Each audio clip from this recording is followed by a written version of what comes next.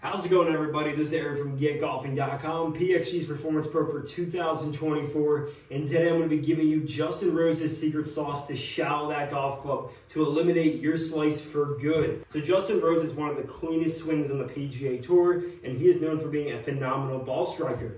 When he does this drill, he is trying to get the arms to feel a little bit more behind him as he has a tendency to steepen the shaft, getting the club out in front of him, and then he needs to jump up and compensate with his body angles in order to square up the club face, which we do not want to happen. So he over-exaggerates this rehearsal to get him the proper feeling of that club head just dropping a bit more behind him with that shallowing motion. So in order to do this, what you need to do is set up to the golf ball, and number one, make sure you have the correct grip strength. If you're already slicing it, turn your grip in maybe one more knuckle just for a little bit more strength. If you look at the top of Justin Rose's swing, he has a neutral wrist angle and a stronger club face. He definitely does not have a weak club face because if you had a weaker club face with a more extended wrist angle here, that can cause you to throw that club face in front of you.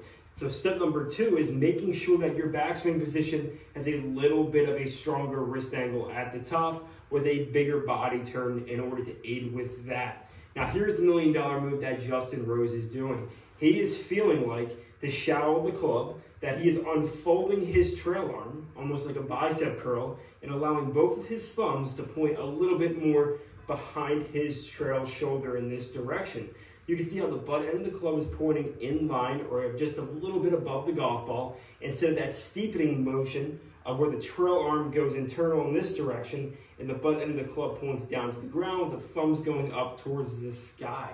So what we're trying to do is get this shaft to feel like it is laying down a little bit more down here while this arm feels like it's unfolding, that bicep curl. So now that you understand the motion, here's how you're going to insert it into a one, two, three drill. Step number one is going to the top of your swing in your position. Step number two is, again, unfolding that trail arm, letting the shaft shallow, moving it more horizontal in line with the ground. Once you get to this point here, you're going to feel the body turning and opening up towards the target. So you're gonna go one, two, Must be able to turn your body. If we shallow this shaft and we just drop our right shoulder, we're gonna be so stuck from the inside that we're just gonna hit these blocks out towards the right, or you're gonna flip your hand over and hit these massive hooks. So the matchup with getting this shaft shallow is a bit more body rotation to get that club working and firing through that elbow plane right in this direction here. That way you can rotate freely through the golf shot and have, not have any manipulation of your golf swing.